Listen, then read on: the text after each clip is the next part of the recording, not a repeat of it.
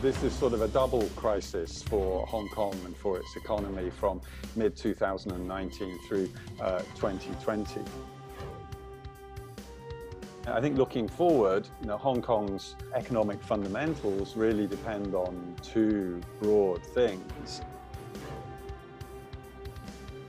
All of those trends, I think, should provide uh, incentives for uh, investors to invest in the Chinese economy in the future. 香港目前面临较大的海外输入风险，那特区政府呢也升级了疫情防控的措施。那虽然我们看到减少人和人之间的接触的确是可以阻断疫情的传播，但是同样呢也使商业活动陷入了一个冰封的状态。那全球经济在上半年收缩似乎已经成为了定局，香港和中国内地的经济在未来将如何走呢？今天带您关注。Now, Tim, you're based in Hong Kong, and obviously the pandemic has also hit Hong Kong, and the Hong Kong economy since the second half of 2019 hasn't been performing well. So, what do you think is the key to Hong Kong's economic recovery? It's clear that this is going to have a big hit on Hong Kong's economy, it already has done. Um, Hong Kong's economy has been uh, significantly dependent over recent years on tourism, people coming in for, for, for leisure, uh, people coming in also for business. And Hong Kong's function as a sort of uh, hub uh, for both business and personal travel um, is going to be seriously impacted by uh, this crisis. I mean, I think looking forward, you know, Hong Kong's uh, you know, economic fundamentals really depend on two broad things. One of those is its location um, in the southern uh, end of China.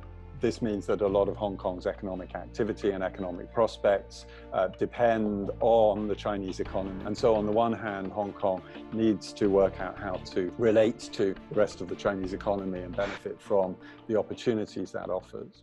Uh, on the other hand, the other thing that Hong Kong's economy benefits from is its separate system, uh, its institutions, um, and its status as a global financial center. Those are strengths that need to be nurtured and uh, developed in the future. In, in a way, this reflects the one country, two systems idea.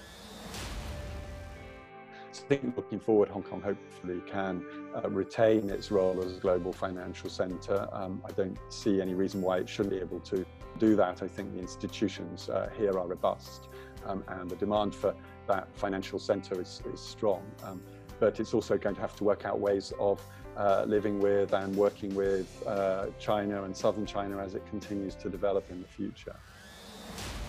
Okay, well, some say that the pandemic will be bad news for the Chinese economy and for the rest of the world, but there are others that argue that China has now contained the virus. So, China, perhaps after the pandemic, will be a safe haven for investors. What, what is your view on that? I'm inclined to say that I think at this stage it's rather uncertain how things will unfold.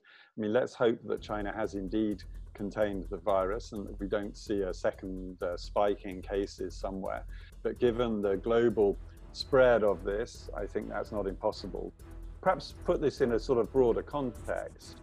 I mean, anyway, I think what we've been seeing over the last decade in particular, and we will continue to see, is a shift in the, economic center of gravity.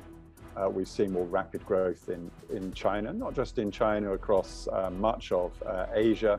Uh, we're seeing um, the, the, development in China of more uh, sophisticated businesses, uh, globally competitive businesses, um, a much more diverse, complicated market. And all of those trends, I think, should provide um, uh, incentives for investors to invest in the Chinese economy in the future.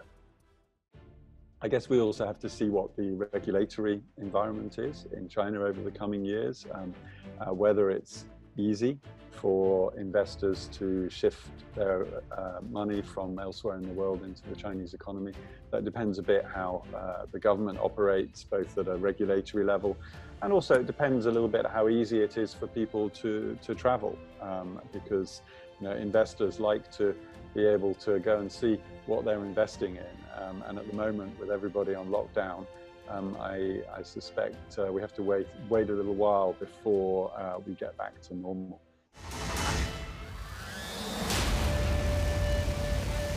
How do you think the Chinese government has handled the um, outbreak? This is a very new uh, coronavirus. People didn't know much about it. Uh, the impact and consequences weren't very clear, I think, back in January. Once the Chinese leadership had sort of realized the gravity of the situation, though, um, the ability to mobilize uh, in a coordinated way uh, was very strong. Uh, and so that led then to a very, very strong response from the middle of January uh, onwards. Um, and that, it, it, seems, has been um, very important in containing further spread of the virus uh, within China. So, um, somewhat mixed view of the, the Chinese response. There are some weaknesses, but I think there's also uh, been some uh, strength in the subsequent ability to mobilize resources to try to tackle this.